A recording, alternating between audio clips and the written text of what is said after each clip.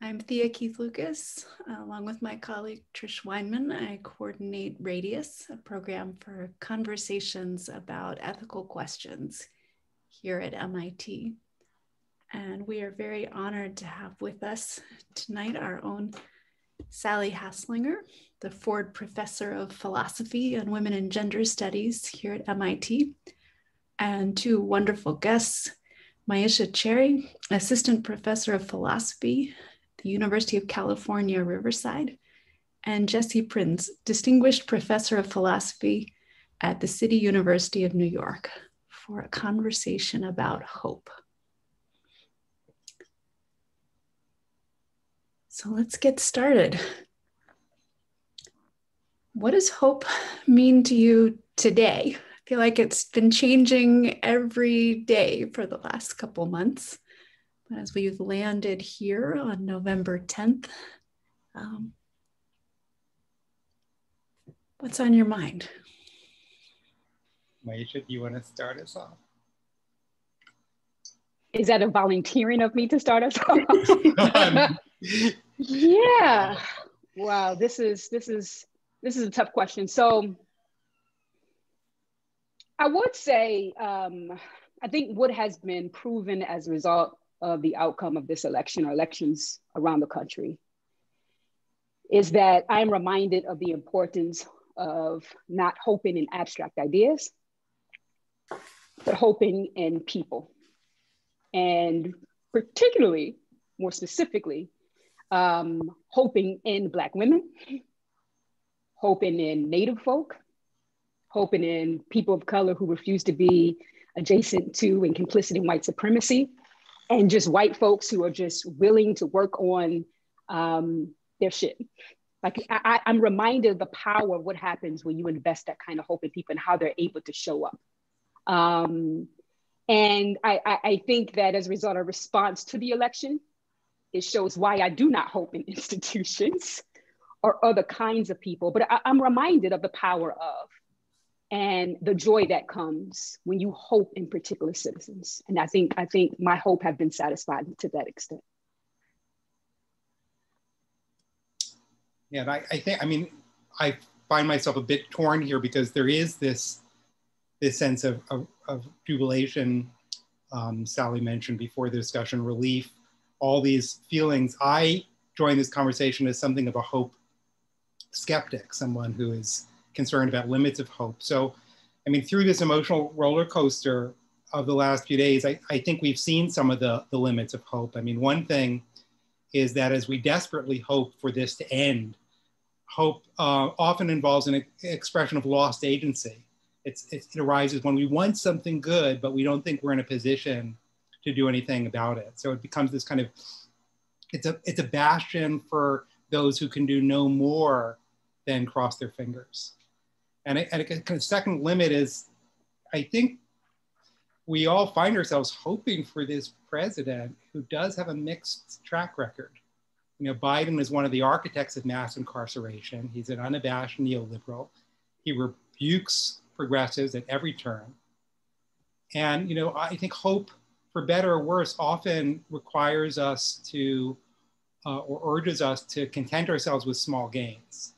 And that's, that's double-edged. And a, a third kind of concern is relating to the moment is that um, you know, Biden used this hope slogan in, in a lot of his advertising and his closing of the last debate. He mentioned the idea of replacing fear with hope. And that rings so true. I think we've all felt so, so afraid, so uncomfortable uh, all these uh, four years that we can finally exhale. Um, but I can't help wondering whether this invocation of hope, this call to turn to hope, is also an invocation to passivity. And are we being asked to enter a kind of passive posture? So there are some fears we should have. Fear shouldn't go away. There are some bad things we're facing in addition to, to COVID and all that. We have growing inequality, we have gentrification, we have you know, huge disparities in health outcomes that are not showing signs of getting uh, better and of course right now greatly exacerbated. Um, the fact that Trump got 8 million more votes, including gains in people of color and members of LGBTQ communities, that is a cause of fear, of serious concern.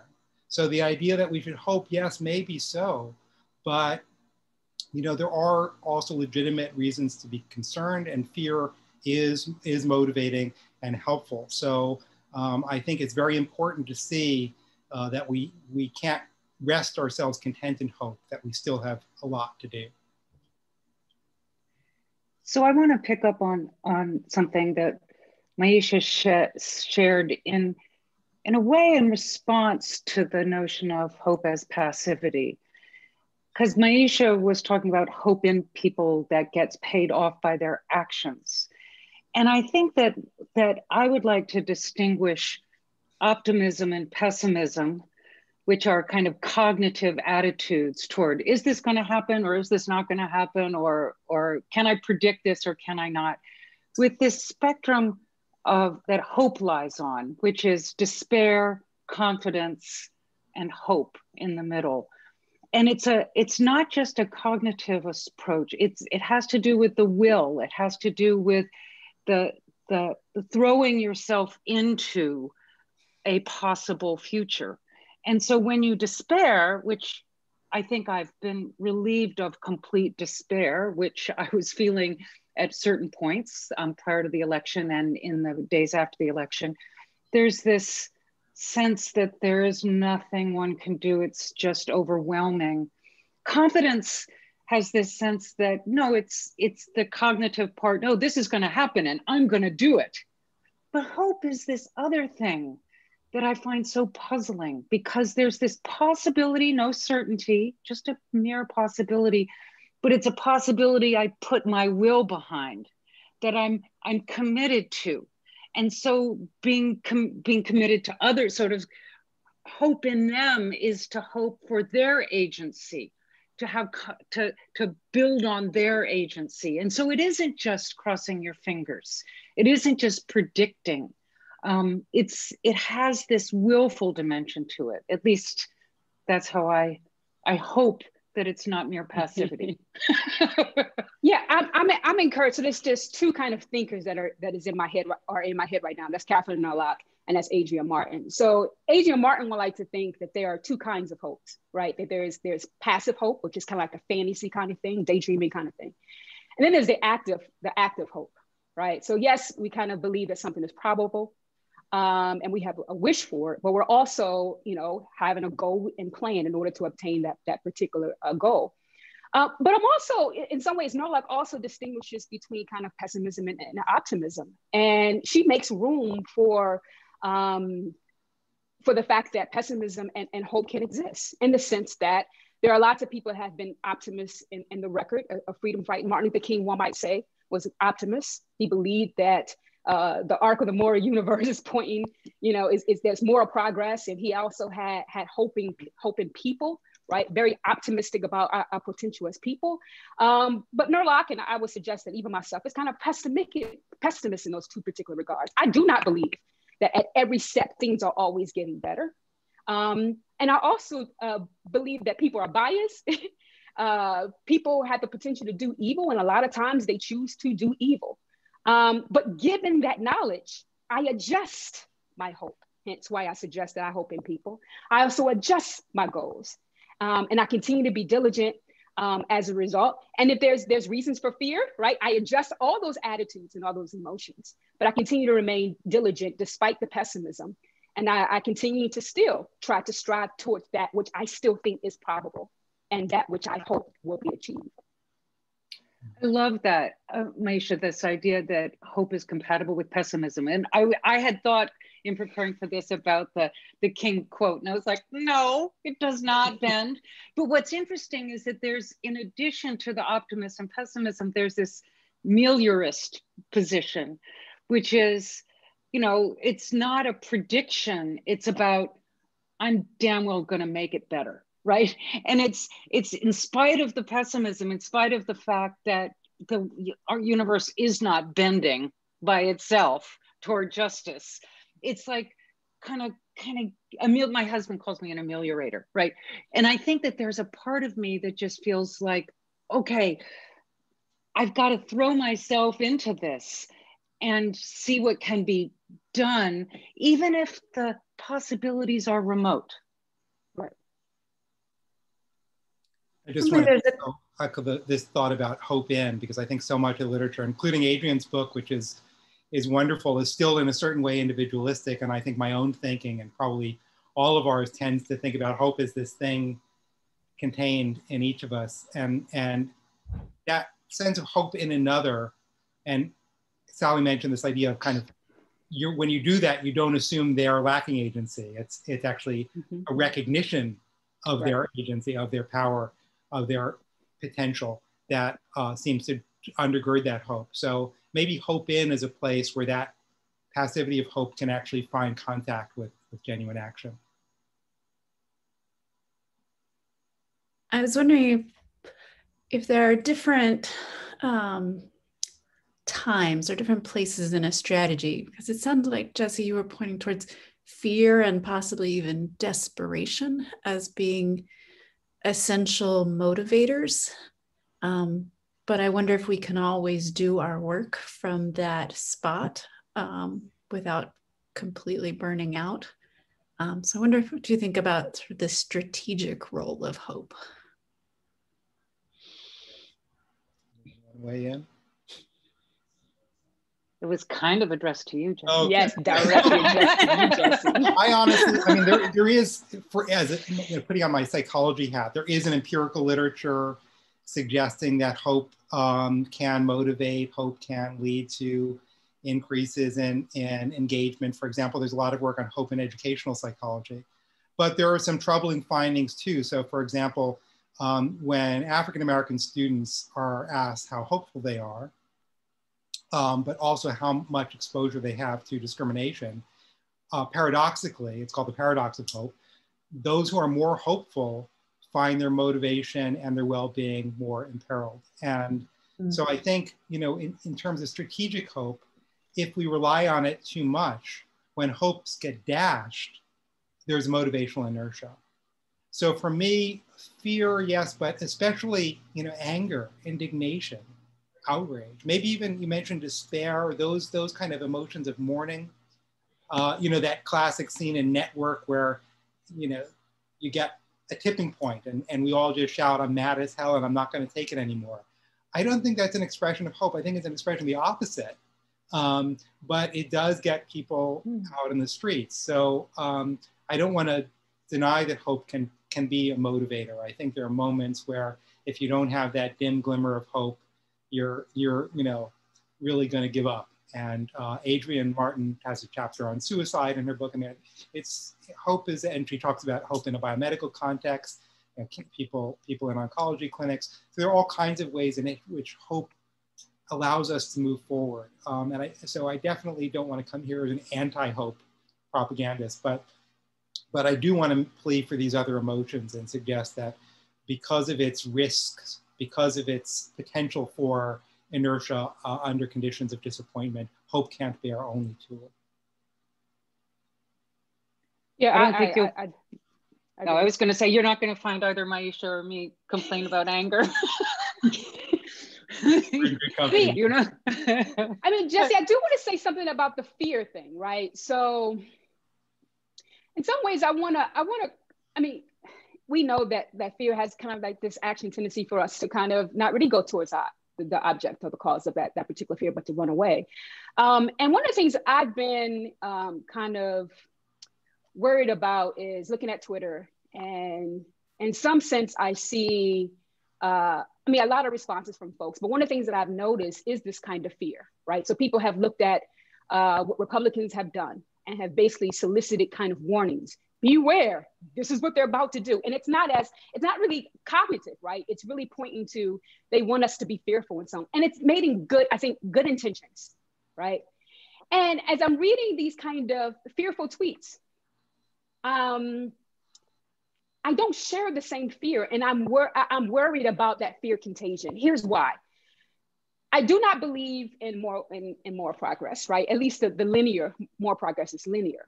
Um, but I do believe in moral, moral failure, right? So I mean, a lot of times we like to talk about how we progress morally, which means that we're getting better. And we don't really mention that that's only made possible or thought to be made possible when evil fails at one point or, or, or, or another. And I think history and also more currently, no matter how evil has been successful, it has also failed. Right? Slavery was an institution, it lasted a long time, but it failed, right? Um, and even on the plantation, as much as slave owners wanted to make those African slaves, right? They rebelled. That project failed, right? The fact that I'm here talking with you all, a Black woman with a PhD, whoever, all the sexism and all that stuff to try to get in the way of that, that was failure, right?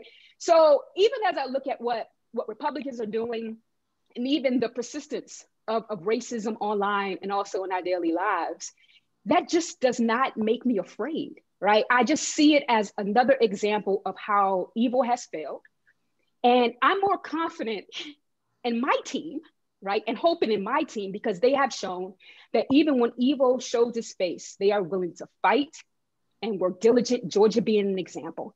And so that's where my hope is. And if you was to compare my hope with fear, fear is down here and my hoping in my team. Um, as you know, LeBron James said this during the playoffs, um, compared his team to another team. He basically said, we built different. And he was basically talking about on his team, there were so many people who could rise to the occasion. There are so many ways in which they can play defense and offense. They could adjust. That's how I feel about my liberating team. There's a lot of ways in which we can adjust to whatever comes our way. There's a lot of people who just remain persistent no matter what comes in their way. I'm confident with that. Um, and that makes me less fearful of the opposing team. Yeah, I, I, I have to agree with that. I, I definitely don't want to champion fear. I do think fear is also very destructive, and there's a lot of evidence that not only does it make us retreat, but um, it balkanizes us. It makes us, you know, hate out groups and lash out in ways that are that are very destructive. Plus, too, I, I, I take very seriously the fear that was introduced by the cultivation of hate during these last four years, and just this anxiety. Even now, just I mean, people are afraid of a of a civil war. They're afraid of violent retribution of all these people who have been encouraged to regard this uh, election as a fraud. This refusal to listen to facts. I mean, Trump did better in Philadelphia in 2020 than in 2016. No one is saying that. You know, the, the fact that he did better than all the polls, the fact that all these Republicans got their congressional seats. If there was fraud, it was on the Republican side. They did much better than they should have given all the forecasts. But that cultivation of a um, this is a uh, fraud and and b it's the result of a cabal of a conspiracy. It's that fear of the in-group. If you look at how people come to justify torture if you look at how people come to justify genocide it's always this sense of the enemy from within.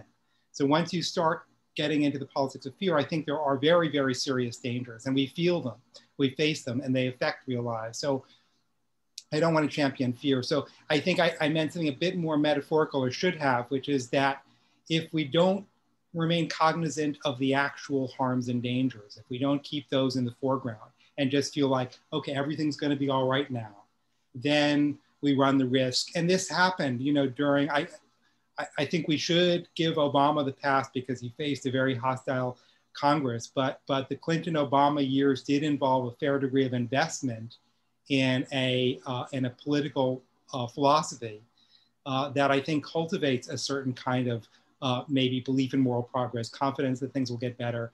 And, and it's really maybe better than fear, something like vigilance uh, that we need to cultivate.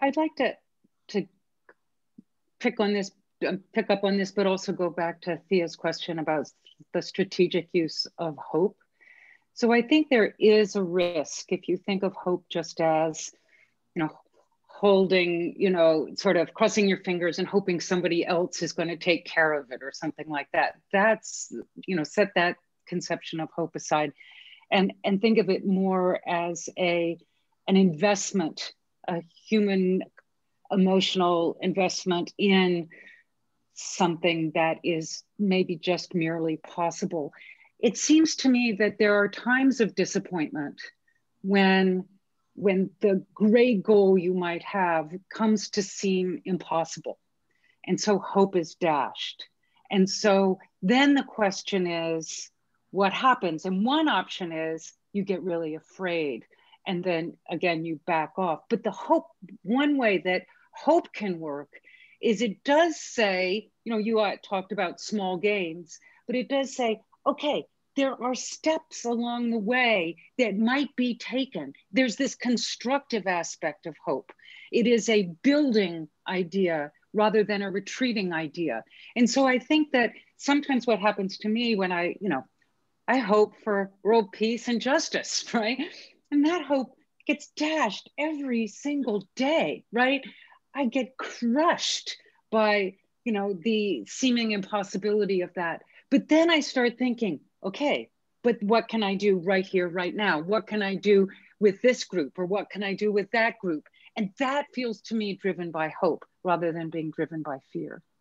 Just, I mean, to not be too fetishistic about words here, I, I do kind of wonder whether the, the word hope brings us to the wrong register. Because when we're talking about those incremental gains, it's again not that we just hope they'll happen, it's that we really um, work for them. So, in, in my thinking about empathy, I've come to the, the view that empathy has a dark side that really outweighs its benefits. But there are cousin concepts, and people have talked about compassion, which is, I think, more of the same. But one that really speaks to me is the notion of solidarity. And empathy is problematic for a very similar reason. It's, it's um, not motivating. It, it leads people to kind of wallow in the, in the agony of another's misery, but it doesn't get you out the door. And solidarity, which is also not presumptuous, it's not pity, it doesn't assume that you have epistemic access to somebody else's struggle, but it says, I'm going to stand with you. And that notion of standing, of being there, of fighting the fight, I think is better than empathy. Um, likewise, with hope, I think a successor concept in the neighborhood might be something like determination. So rather than hoping for improvement, determination in bringing that change about may be a concept we could do more work with. Or maybe commitment or commitment, conviction. Conviction. Now, there's been important work on how empathy sets up a a promise of a relationship and very readily if that's not acted on something like that sort of passive side of it if it's not acted on then it sets up a betrayal. And that sounds very similar to what you're speaking of that hope sets up the possibility of a, a demoralizing disappointment i just so historically jump back in i just want oh. to take a moment and invite um, folks in our audience there is a q&a button on the bottom of your screen and we would love to hear from you if you'd like to pass a question to us. Thanks very much. So historically, you know, faith, hope, and love were sort of linked mm. in the Christian tradition. And faith, I think, is supposed to be um, a, a sort of belief like sort of attitude toward um, something. Hope is supposed to be a, a will, a habit of the will rather than a habit of the mind. Um, and and it's and then love, you know, well, let's not talk about love. That's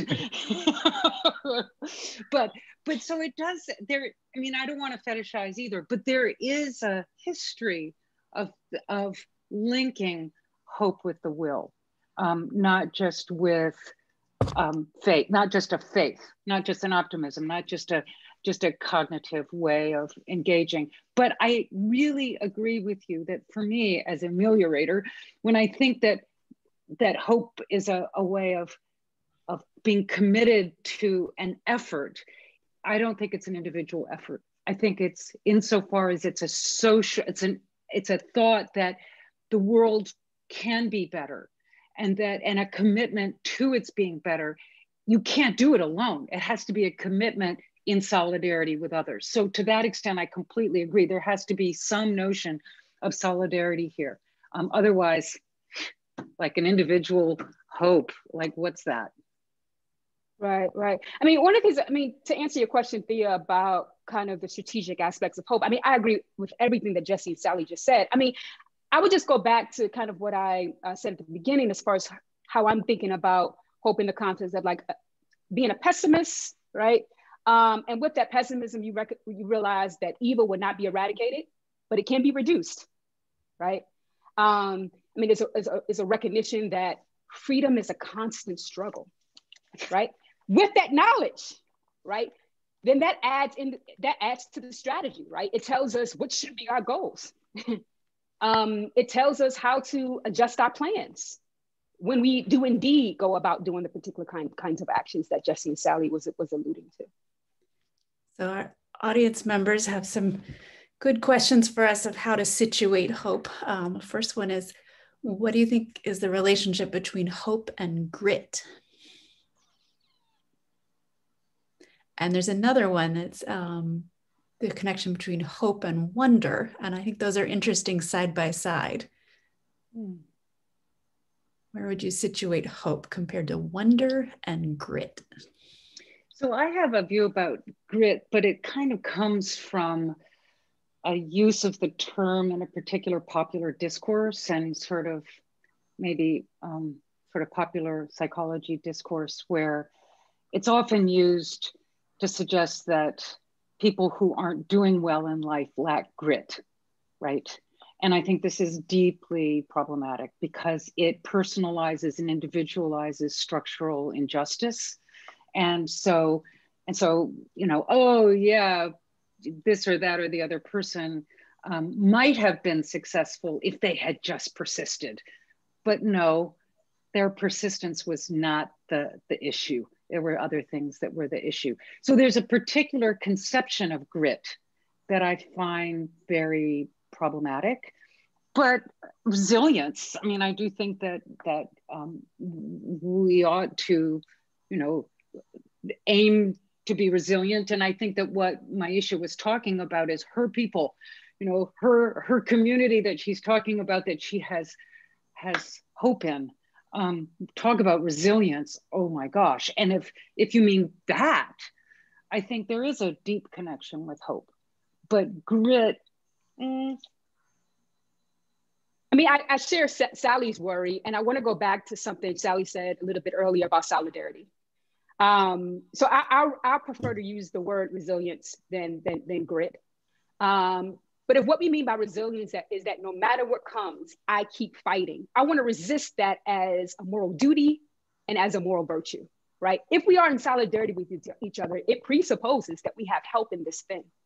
That when I get tired and I don't want to be resilient today, I should be able to pass the baton right? And you should not be disappointed. We're talking about hope and disappointment. You should not be disappointed in that particular um, call, right? And I hope in you to pick up the slack when indeed I'm tired and because oppression is tiresome.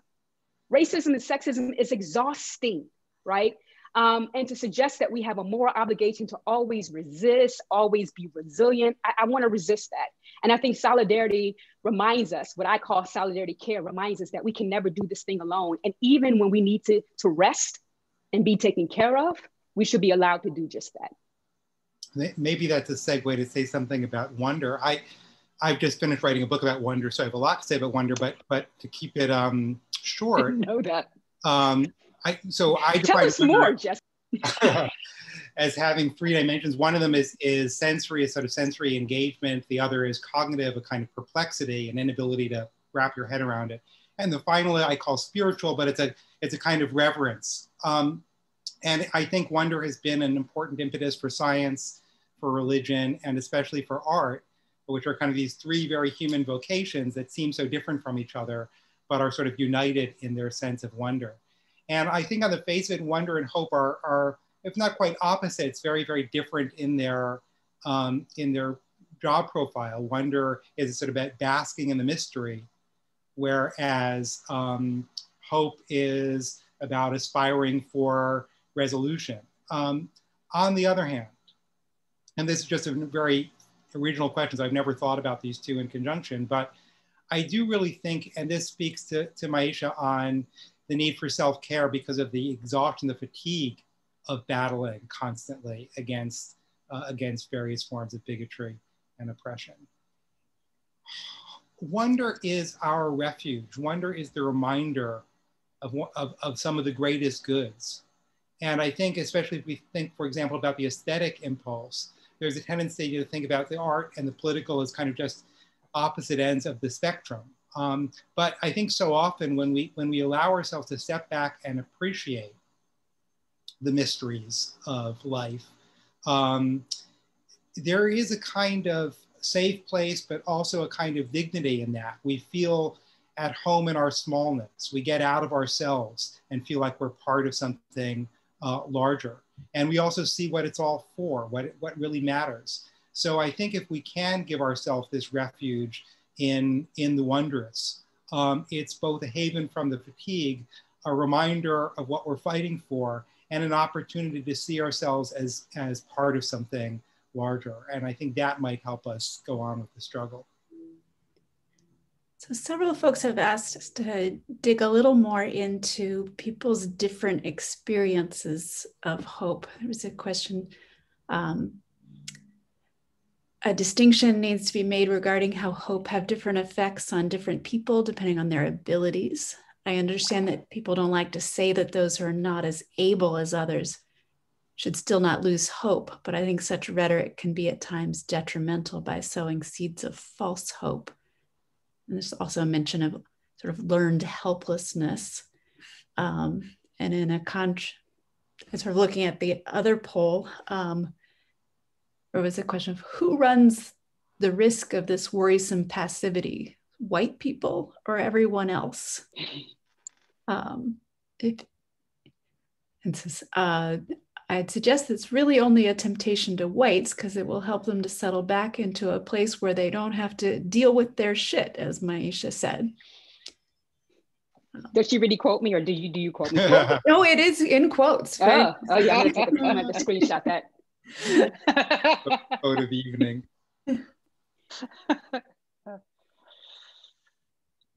Yeah, I, I mean, obviously, it is a white thing. Look, I mean, when somebody has their knee on your neck, it's not about hope at that moment.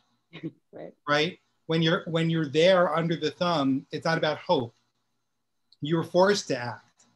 Um, so I think what happens, the, the kind of danger of complacency may be a, a, one that comes with privilege. Because when you're in that position where you're not forced just out of self-defense, out of survival to fight, and just a question, should I get up and help in this fight? Um, then the hope that things are, are getting better. Um, it's a little bit like, and people worry about, about virtue signaling and echo chambers in social media. If you feel like activism just becomes semiotic, where it's about saying you're in favor of this thing, but, but um, remaining on your tuchis, as my Yiddish speaking mother would say, um, you know, then, then we get complacency. So hope similarly is a luxury that many people can't afford. Yeah, I, I, would even say this is this is my being charitable, but also realistic.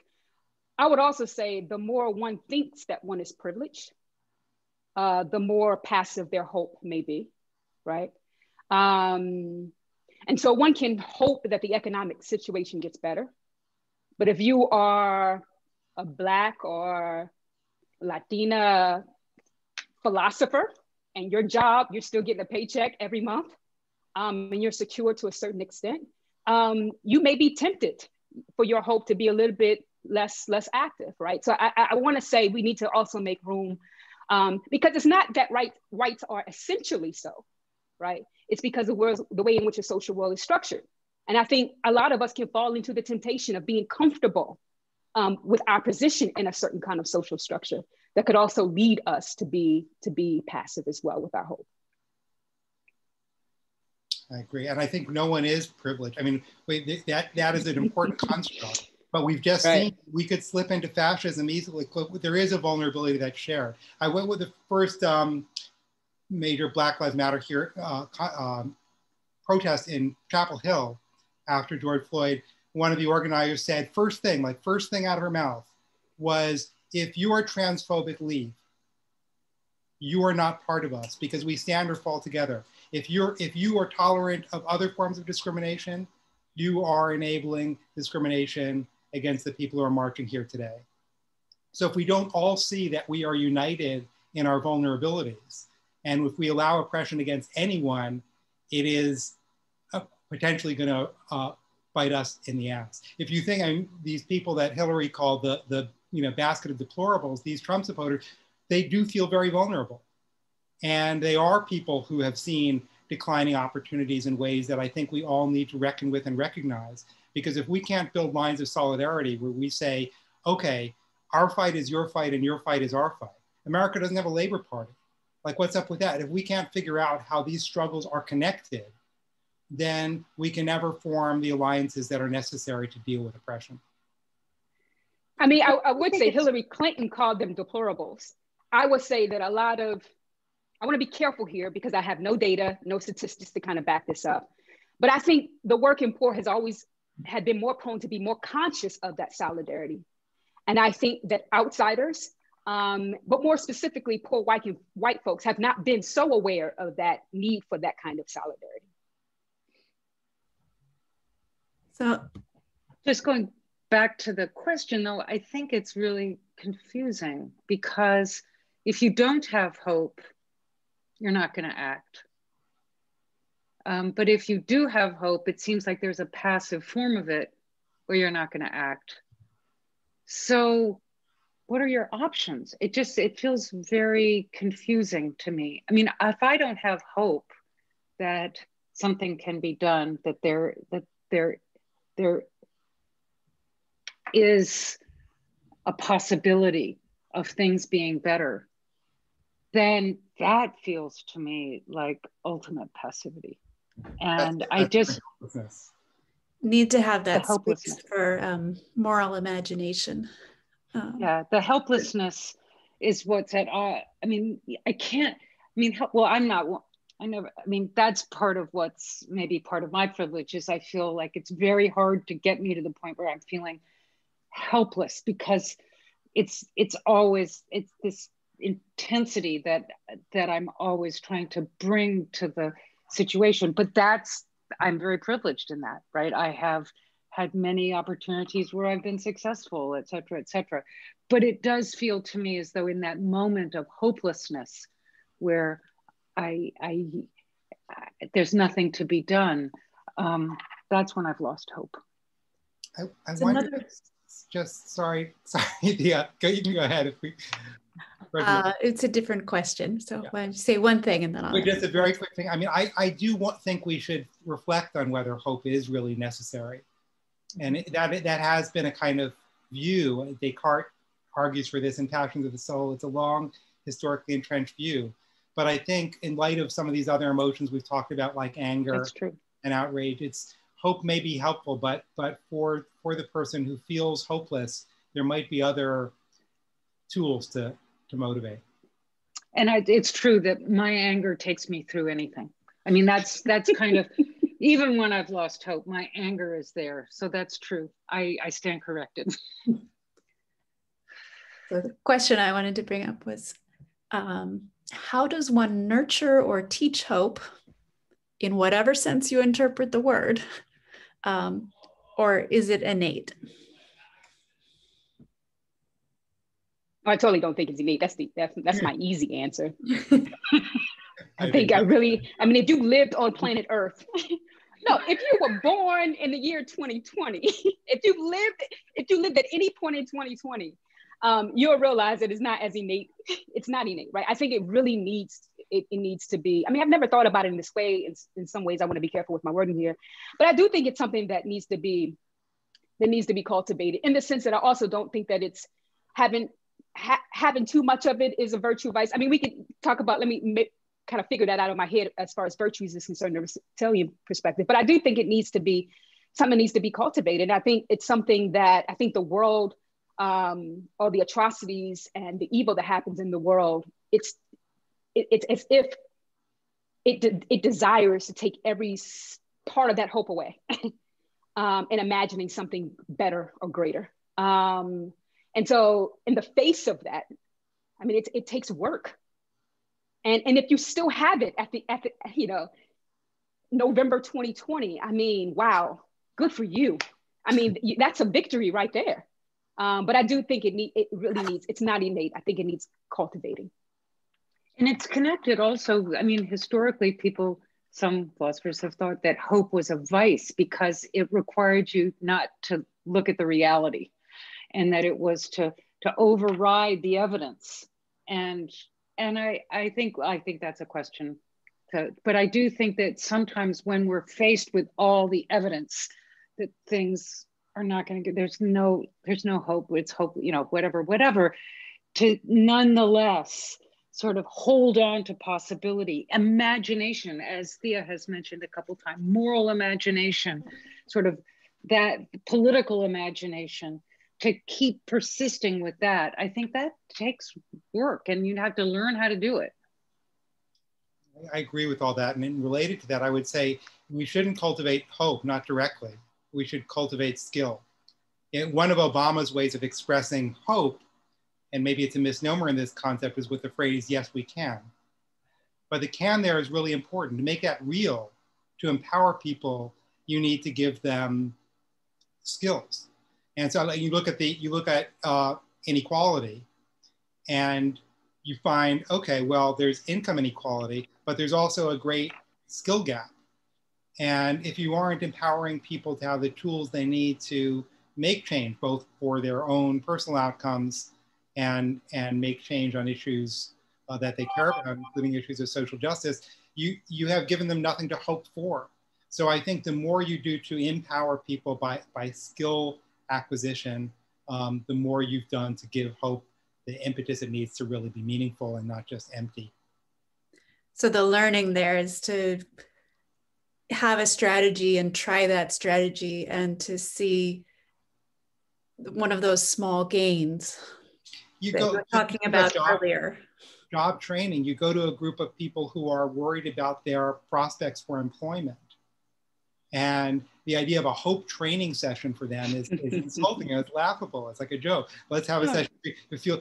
Now, I, I don't want to overstate that because I think there is a way in which those feelings can make you feel empowered and can can uh, help you move on. But if there's structural um, inequality that makes it impossible, even if you're very hopeful, to go out there and compete on the job market, then the best thing you can do to give people really a grounds for hope is the skill training.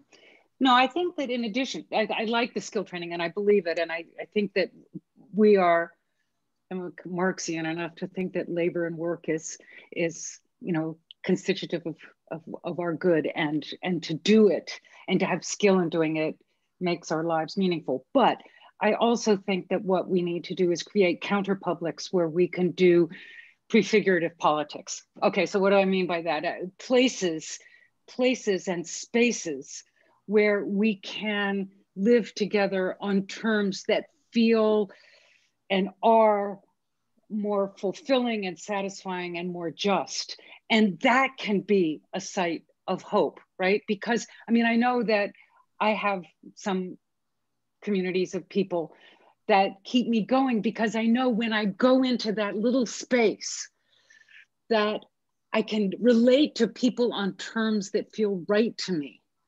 And even though the minute I walk out of that space, it's a shit show, right? And I can't tolerate it and I just, whatever, that space is so important to both keep my imagination, you know, alight, to keep us going and to and to make that seem like it's something to hope for. Um, so I'm really a believer in that kind of counterpublic space. And it's more than a skill it's a well maybe it's a skill of solidarity a skill of community a skill of something like that and it's one of our uh, participants um, what if part of solidarity is giving hope to others that is being those in whom as Myisha said others can hope so what we cultivate is not our own hope but our being the grounds for others hope um, that really speaks to the power of uh, those community spaces that you were naming I think yeah, on yeah. that too, I think again, uh, we, we do always run the risk of having hope in in this person. So, you know, one of the ways leadership can work out is you just stand behind this. You're, you know, this is what happened with Trumpism a little bit. I think people thought their savior has come, and they just need to let him do do the work. Um, but if you know, you think about that old Kennedy, uh, you know, line about ask what you can do for your country. If if you have leadership that doesn't say just don't have hope in me, I'm not here to save you. This is an old biblical thing in in Judaism. The Messiah will come when he's no longer needed. We need to lift our, ourselves up, and you need to give people hope hope in themselves. Um, my grandfather was one of the organizers of the March on Washington, and he spoke just before uh, Martin Luther King Jr. And his, his speech ended with, it's not enough to hope together. It's not enough to pray together. We need to act together. And I think so what leadership, you know, real leadership, effective leadership isn't have hope in me. That's the demagogue. It's have hope in yourselves, have hope in us, have hope in the collective, because if we stand together in activity, difference can come. Yeah, it's reminding me of a, of a quote, and I don't even know who's the author of it, but it, it, it basically says, We are the leaders we've been waiting for. We are who we've been waiting for. Exactly. Um, and that phrase really encompasses uh, what you're discussing, Jesse. I think what I would add to the cultivation piece, and this is kind of mixing in with um, the solidarity piece, I think one of the hardest, one of the most difficult things to cultivate, particularly when we're hoping in people, is trying to figure out, and we can call this a skill of some sort, um, of how to extend grace, when to extend it, right? How to handle disappointment, when to put someone in timeout, when the person is not deserving of timeout. Um, I don't have any answers for that, but I think that's one of the biggest things. I mean, I, I talked about, hey, one thing about pessimism, we need to recognize who we are as individuals. We are fallible. We are not as consistent as we, we would like to think. We are biased. And if we have all that stuff going on, that's not just a reality for those who we think are our opponents. but it's also for any human being, particularly human beings that we love and people and human beings that we look up to, human beings that we have expectations of. They will fail those expectations, and we have to figure out how to continue hope if hoping in them if that's something that we should do, and figuring out if it's something that we should continue to do um, is a lifelong skill um, that we have to continue to challenge ourselves to develop and to be a recipient of, and also doing it for ourselves as well. It's it's a, it's a it's a tough cultivation project.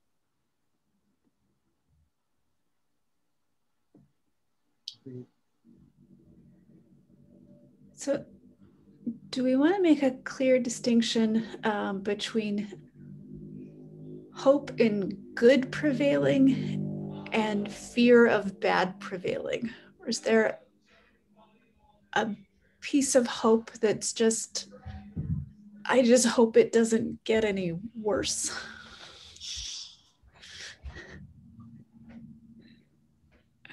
Well, I, I mean, we we we use that language, but I don't know if we have a quantitative kind of thing that backs that kind of language up. I mean,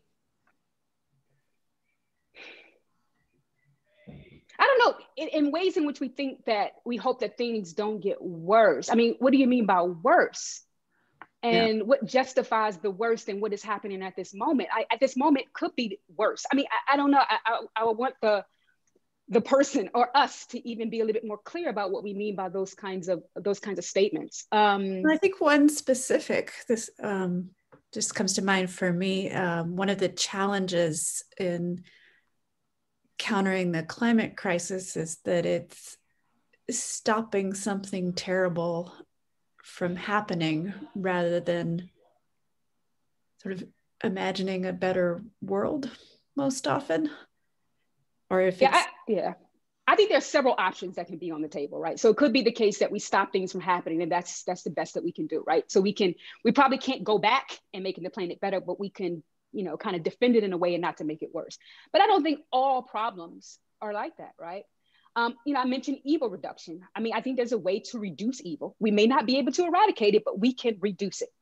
Um, so, so I think, you know, depending on what the situation is, depending on what the problem is, I think there's several options on the table. So it's not kind of a dilemma or a false dilemma of sorts, the way that we may think that it is. Yeah. To me, to me, it brings to mind a little bit the distinction between negative and, and positive liberty, the freedom to, you know, to, to do things and the freedom from oppression, um, to put it that way. And I've always, I've always found that distinction unhelpful. Um, because I think if, if somebody is stopping you, if somebody's holding you down, if there's this negative thing, then your ability to thrive is going to be thereby delimited. And I, so I don't think we can separate the hope to get rid of the bad and the hope for the good. I think they're inextricably uh, bound.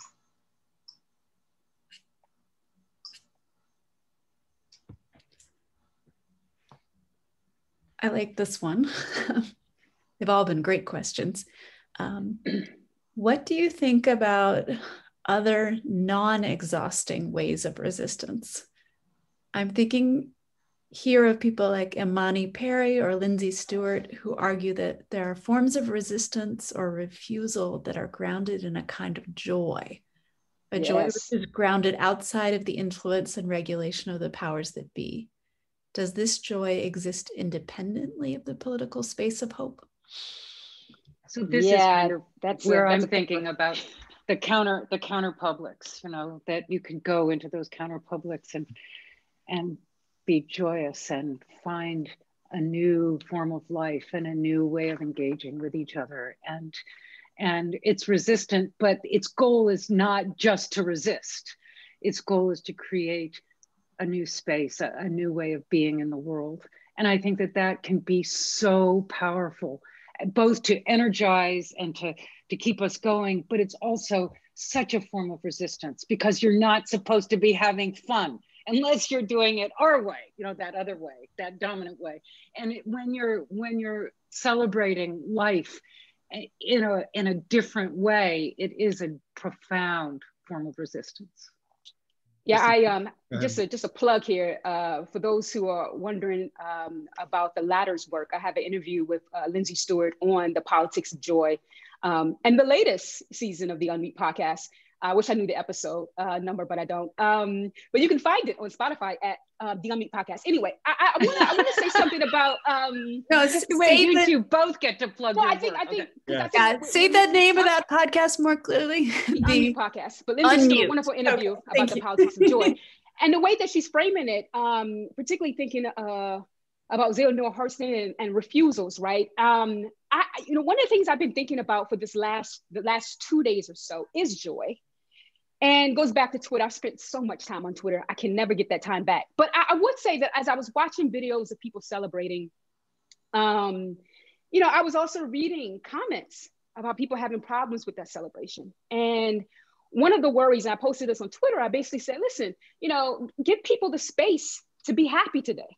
Give people the space to dance and to have some kind of relief. Um, and it doesn't mean uh, that they're ignorant of empire that they're being seduced by symbolism. Um, they're just happy right now and they should be able to express that happiness now Lindsey talks more about refusal but going back to, to, to sally's point about resistance you know I, I, I, honestly think we need to make space and give ourselves freedom give us give other people freedom to make joy and relief if only temporarily temporary a part of our liberation practice um, and not treating joy as this end goal that we get, particularly if freedom is a constant struggle. Maybe, maybe, maybe a minute before we get there, right? So we ought not to tr- uh, treat um, uh, joy and relief as this end, this end goal, but this thing that we get along the way, right? And this goes back to care. This goes back to solidarity. Um, we need to put that into into our freedom practice. And I don't want any kind of freedom that doesn't make space for laughter, for dancing, for joy, for relief, for release. I know things are not perfect.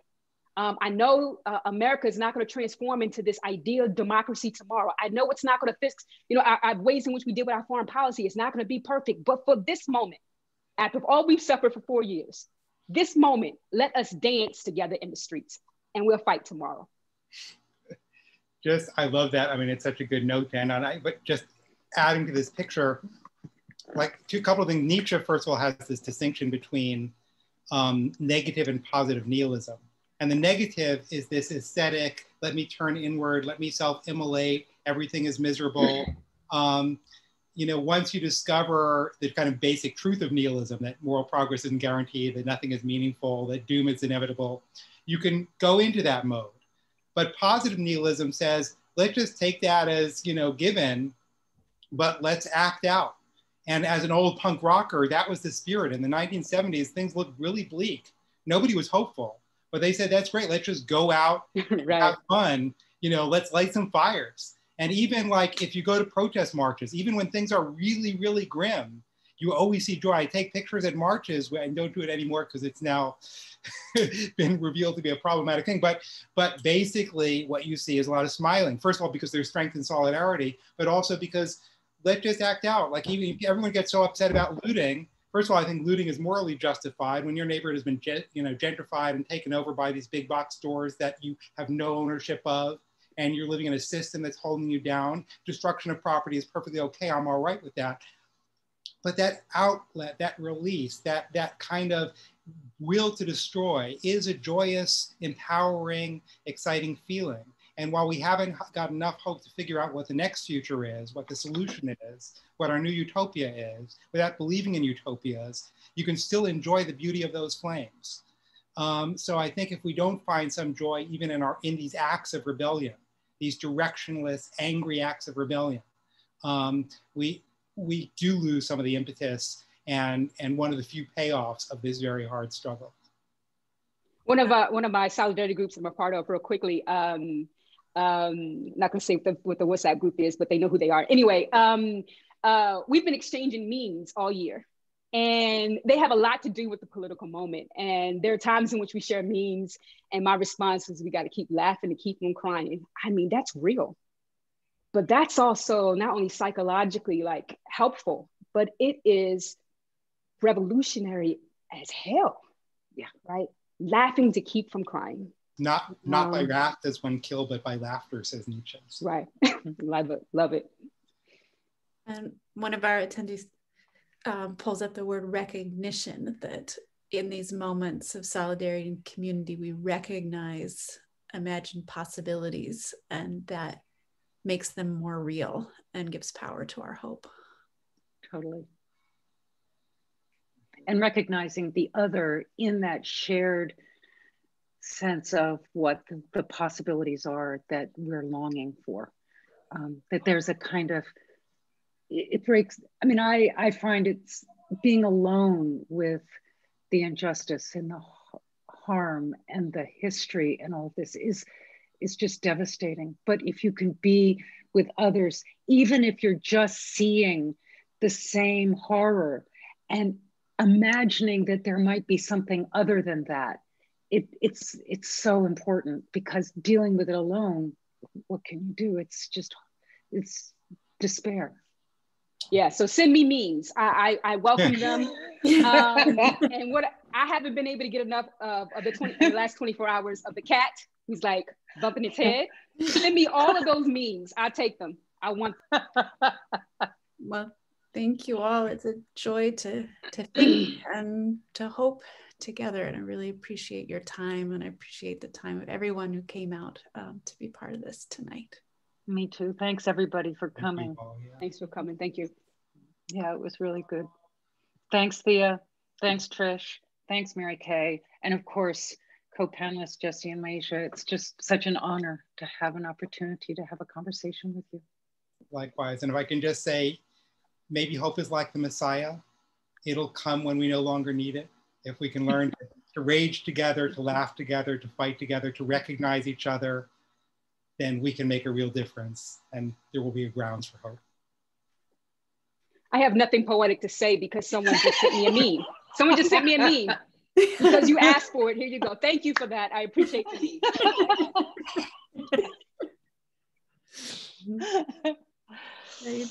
Take good care. Right. Okay, yes. Love you all.